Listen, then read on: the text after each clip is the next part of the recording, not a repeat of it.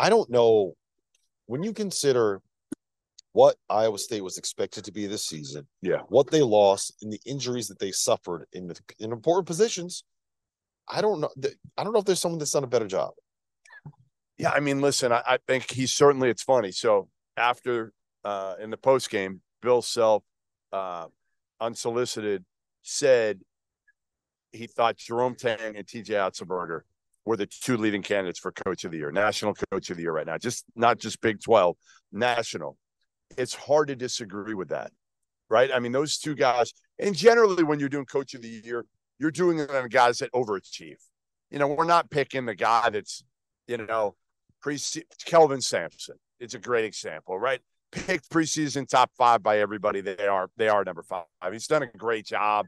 We know that, but but traditionally you're going to go with a guy that overachieves.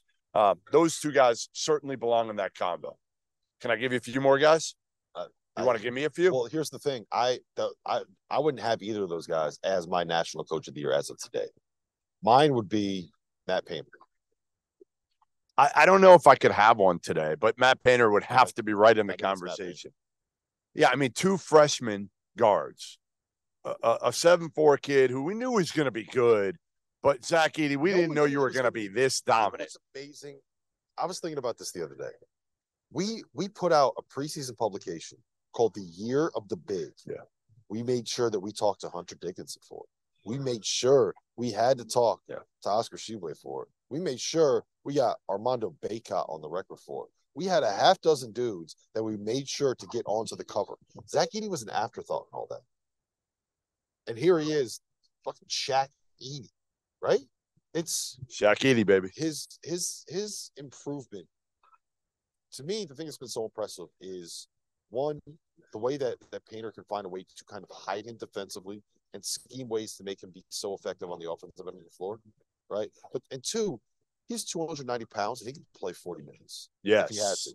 He's in great shape. unbelievable Yeah, shape. he's in great shape. He is. He he said that to me earlier. He said I I work with a strength coach on, you know, not just, not just, you know, like like conditioning, but almost conditioning of like lateral movement, things like that. If you notice, he's definitely moving a lot better defensively. Oh, yeah, absolutely. He rebounds outside his area much better than a lot of bigs his size, right? A lot of those guys are just plotters who are going to put their hands up, and if it comes near them, they're going to get it. But but Zach Edey goes after it a little bit.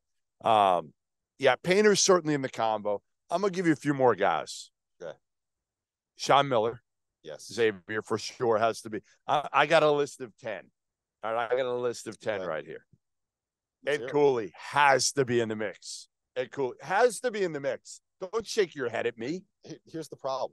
He's like third for me on the Big East Coach of the Year list. I would say he's second for me. Sean, Ed, Shaka Smart.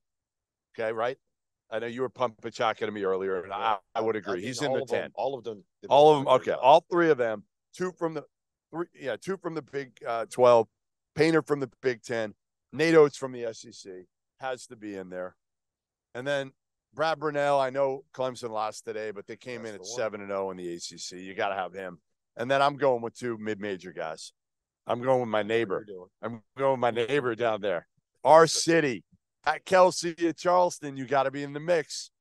And I miss you, man. I miss you. We're com- I'm coming home soon. Don't you worry. And then Dusty May, FAU, Yes. has to be in the mix. I, I did a game of theirs a few years ago.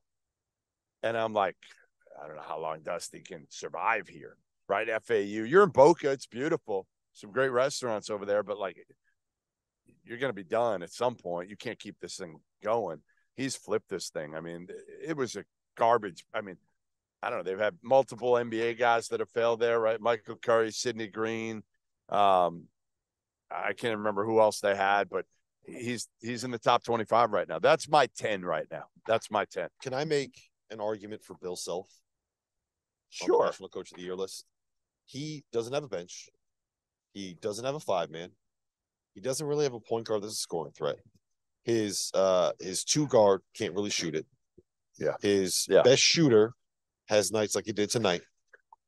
And he still found a way to basically be like Nothing- one of the best like teams. blue moon in Manhattan. to be one of the best teams in college basketball again. Right? Like so I, I think the one issue I have with the way that we rate I coach agree. of the year I know what you're going to say. It's just it's like so the guys that didn't do a good job putting together a team in the offseason and, and outperform it Right. um, always get more credit than the guys that did a great job putting together their team and live up to expectations. Yes. That's my only issue.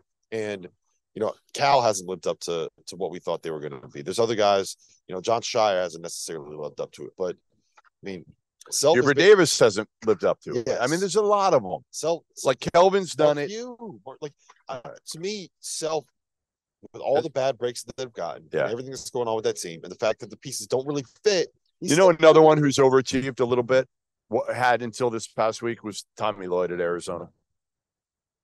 Right, done a really good job. yeah, they got found out.